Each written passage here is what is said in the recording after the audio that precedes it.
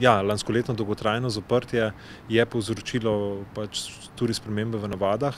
To smo opažali že poleti.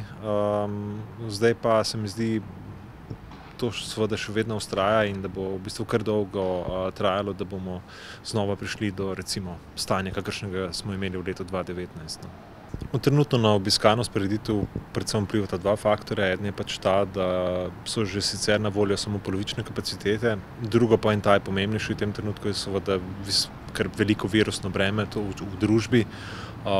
to se precej pozna ne samo pri obisku, ampak v resnici tudi pri izvedbi programa.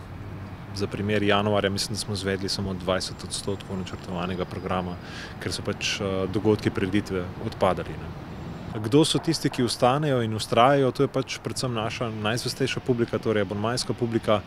Tisti, ki so že poprej bili ne samo občasni ljubitelji, ampak v bistvu redni obiskovalci prireditev. Te so ostali tudi zdaj. Ni pa oziroma manj je tistih, ki so bili že poprej recimo občasni. Takšni pa so očitno zdaj, so se ali odvedili ali pa pač ne najdejo zaenkrat razloga, da bi se ponovno udeleževali prireditev.